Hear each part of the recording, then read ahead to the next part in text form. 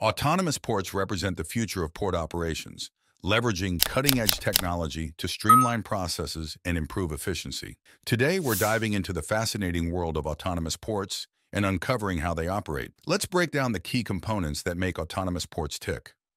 First up, we have automated equipment, vehicles, and different types of cranes, including rail-mounted cranes in the container yard and ship-to-shore cranes in the jetty. These machines handle tasks such as ship-to-shore operations, yard management, and gate automation, all without direct human involvement.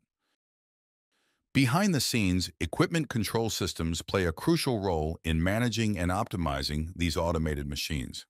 They integrate technologies like artificial intelligence, AI, and sensors to ensure smooth operations and continuous improvement through machine learning.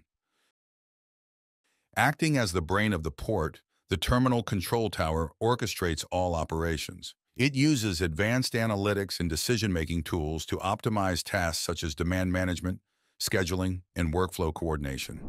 While automation is key, human oversight remains essential for safety. Staff oversee operations from a distance, intervening when necessary. Mixed reality technologies like virtual reality and augmented reality enhance maintenance tasks while leveraging human experience and judgment. Autonomous ports are seamlessly integrated into the wider supply chain, exchanging data to optimize operations and respond quickly to changes. This connectivity enables efficient coordination with shipping companies, logistics providers, and other stakeholders. Now let's take a closer look at how all these components work together seamlessly to supply containers to ships.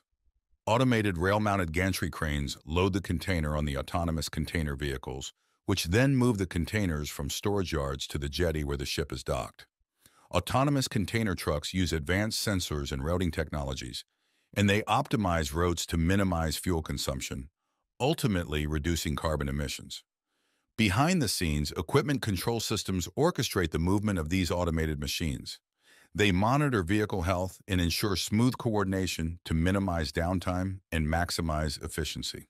The ship-to-shore gantry, which is remotely operated by a gantry crane operator in an air-conditioned room located in the port, then picks up this container and loads on onto the ship as per the loading plan. While machines handle the heavy lifting, human operators remain vigilant, overseeing operations and intervening when necessary. Their expertise and judgment ensure safety and efficiency throughout the container loading process. While autonomous ports offer immense potential, they also face several challenges and risks.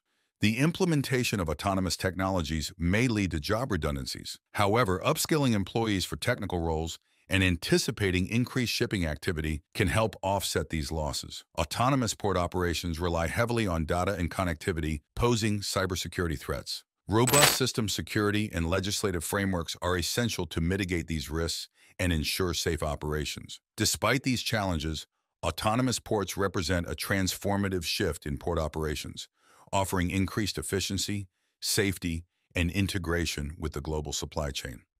Stay tuned to our channel for more insights into the future of maritime innovation.